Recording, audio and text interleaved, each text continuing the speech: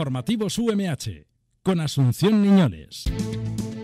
¿Qué tal? Saludos, muy buenas tardes. Bienvenidos a esta edición especial de Informativos UMH. Hoy les vamos a acercar la actualidad de la Universidad Miguel Hernández desde la biblioteca del Instituto Jorge Juan de Alicante. Hasta aquí nos hemos venido para disfrutar de la segunda jornada de Radio en Ruta con la UMH, una iniciativa del Servicio de Comunicación de nuestra universidad que pretende llevar la radio a las aulas. Pero como siempre, antes de empezar este tiempo de información, reciban el saludo de Adrián Estevez, el de Cristian Miconi y Albert Rivera en los controles técnicos y el mío propio. Hoy es miércoles 27 de enero y esto es Informativos UMH. ¡Comenzamos!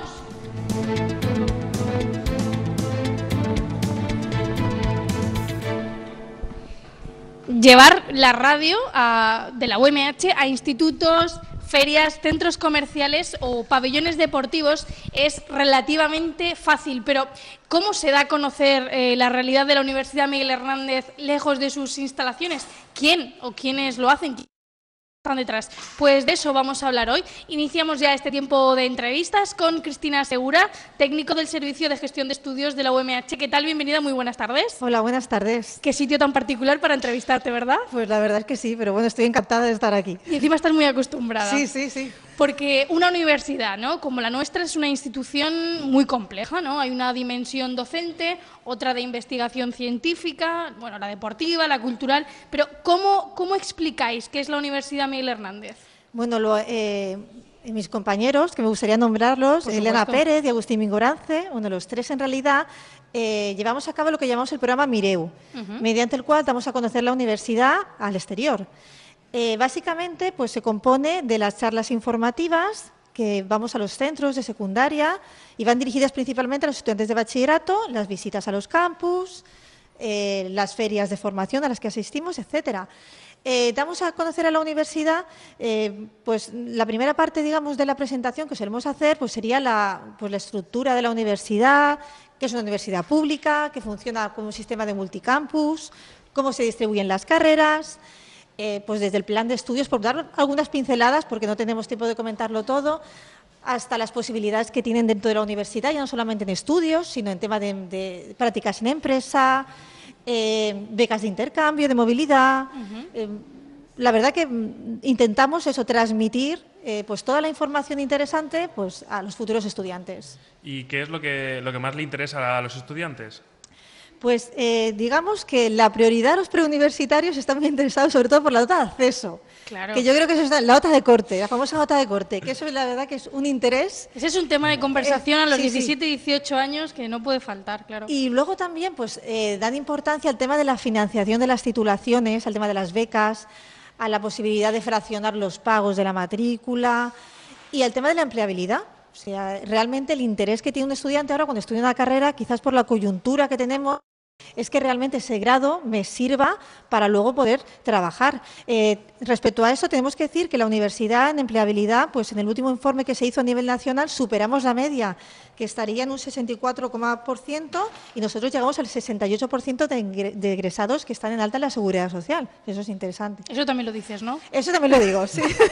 ¿Qué cara ponen cuando les nombras porcentajes y estas cosas? Pues la verdad que, que- que tiene bastante buena acogida, porque es- piensa que es una preocupación eh, pues que tienen los estudiantes y también hacemos charlas a los padres, que no había comentado, y eso los padres, pues la verdad que, que el transmitir que esta universidad da importancia a ese tema, pues les da cierta tranquilidad a la hora de elegir esta universidad como una opción. Porque ¿cómo desembarcáis en un instituto, por ejemplo, como este? ¿Venís con un PowerPoint? ¿Venís con folletos? ¿Qué hacéis? ¿Cómo es un proceder habitual? Pues traemos, es una presentación PowerPoint donde informamos pues de pues, todo lo que hemos comentado antes y luego también a nosotros sobre todo lo que nos interesa, porque la web es muy completa y tiene mucha información. Vamos a los centros sobre todo a solucionar dudas. Aprovechamos ese espacio y luego también pues, no- que nos quedamos después de la presentación y lo que más nos interesa es solucionar pues, dudas ya no solamente del estudiante, pues desde orientadores, cuerpo docente que tienen respecto a la universidad.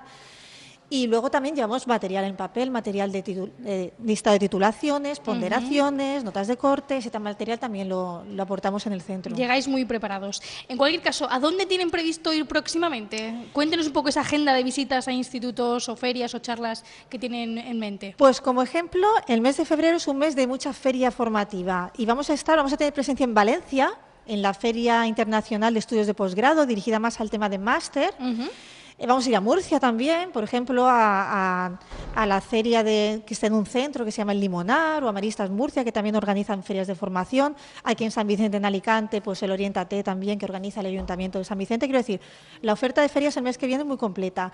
Y luego, pues por dar alguna pincelada de charlas informativas, el año que viene, el año que viene, perdón, la semana que viene visitaremos eh, pues el Tiral Blanc, que es un centro de Elche. Aquí en Alicante, pues el, Instituto Figueras Pacheco. Nos van a visitar el IES Saigón, de San Vicente, la Torreta de Elche, visitarán los campos. Quiero decir. Tenéis una eh, agenda más completa que, Obama ahora. La este agenda es muy completa y tengo que decir que ya eh, nos hemos puesto en contacto entre visitas y charlas con unos 2.700 estudiantes. Toma ya. Y empezamos en noviembre, o sea que todavía nos queda mucho. Y lo que queda. Pues muchísimas gracias, Cristina Segura, a vosotros. técnico del Servicio de Gestión de Estudios de la UMH, por acompañarnos en un sitio tan especial como este y nos vemos por Elche en otra ocasión. Gracias. Muy bien, gracias a vosotros.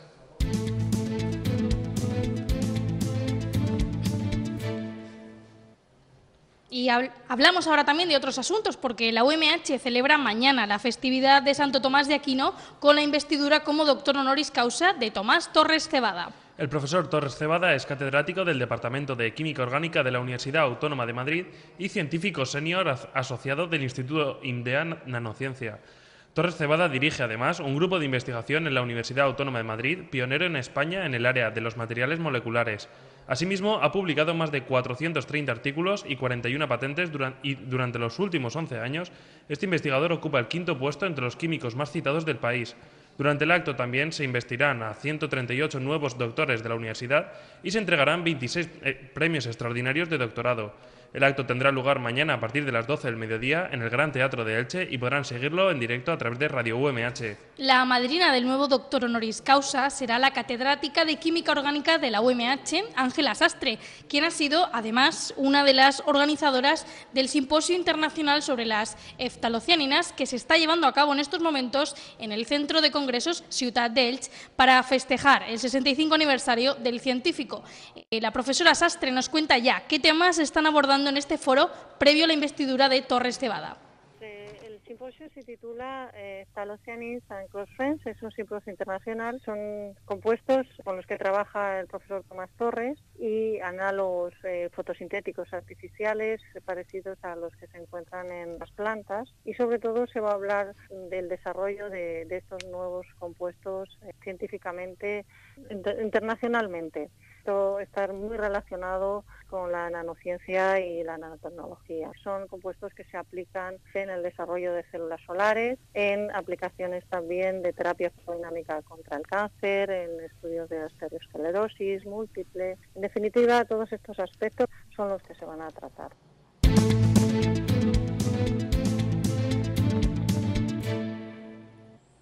Seguimos con la información desde aquí, desde el Instituto Jorge Juan de Alicante, porque el Laboratorio de Idiomas de la Universidad Miguel Hernández ha ampliado el plazo de inscripción de los cursos intensivos de inglés Cambridge Exam Past hasta el miércoles 3 de febrero inclusive. El objetivo de estas sesiones es que los alumnos puedan prepararse para los exámenes oficiales de Cambridge ESOL en los niveles B1, B2 y C1 de cara a las próximas convocatorias oficiales de junio o julio.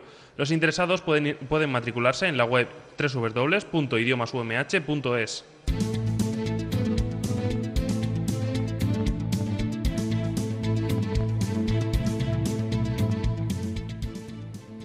Antes de despedirnos, recuerden que pueden inscribirse en la segunda edición del torneo deportivo 43.200 segundos de la EPSE, que está dirigido tanto a estudiantes como a PDI con la finalidad de fomentar la actividad física, el compañerismo y el juego en equipo. Nada más, hasta aquí el informativo de hoy, miércoles 27 de enero de 2016. Sigan escuchando Radio UMH. Nosotros mañana volvemos tras la investidura de Tomás Torres Cebada. Hasta entonces.